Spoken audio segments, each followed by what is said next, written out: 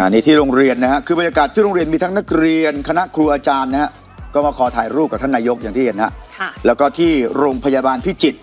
อ่าจริง ๆ ก็มีทั้งพี่น้องประชาชน หมอพยาบาลมาให้การต้อนรับ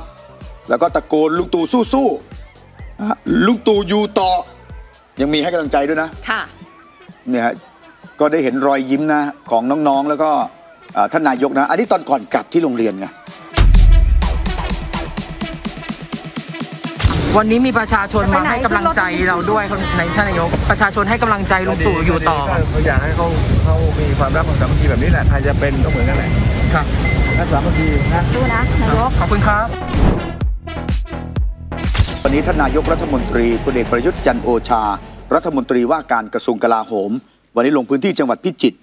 ไปเยี่ยมผู้ประสบภัย เหตุวาตภัย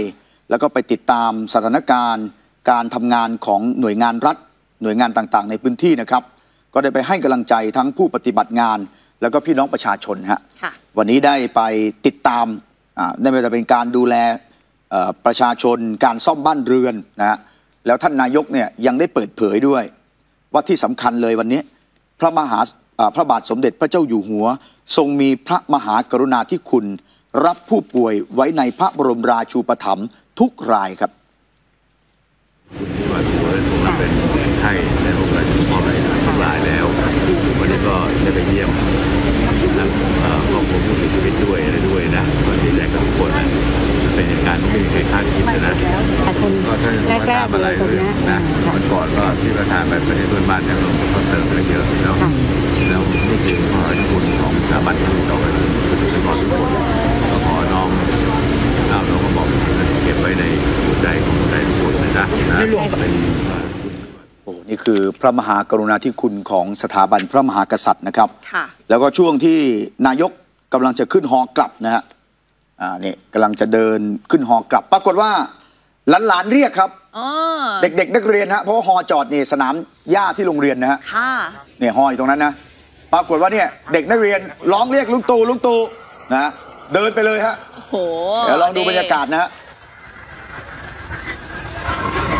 นักเรียนออกมารอเต็มมาคาเรียนเลยนะครับ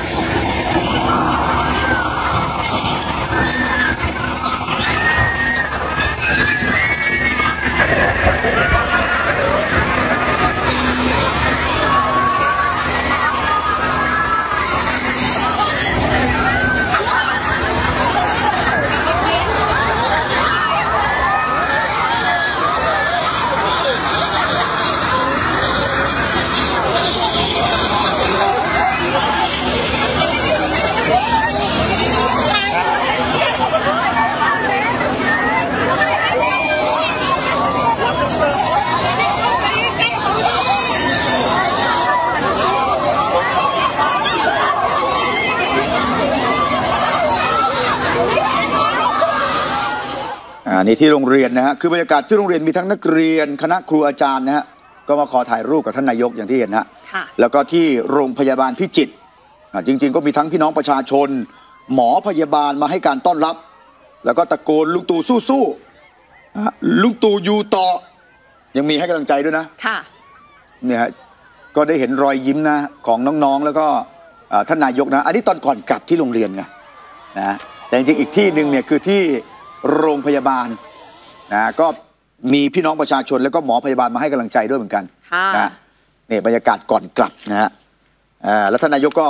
ให้สัมภาษณ์ว่าเนี่ย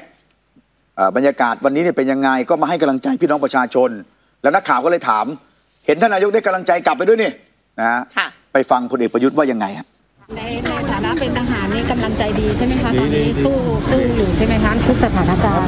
ก็ดูยังก็ทำงานอยู่อะค่ะวันนี้มีประชาชนมาให้กำลังใจเราด้วยในท่านนายกประชาชนให้กำลังใจลุงตู่อยู่ต่อเขาอยากให้เขาเขามีความรักความสามัคคีแบบนี้แหละใครจะเป็นก็เหมือนกันแหละครับรักสามัคคีนะดูนะนายกขอบคุณครับและเนี่ยฮะก็มาที่โรงเรียนเนี่ยโอ้โหค่ะดูดิฮะเด็ก ๆ นักเรียนนะฮะ นี่เป็นบรรยากาศภารกิจของท่านนายกรัฐมนตรีวันนี้นะครับ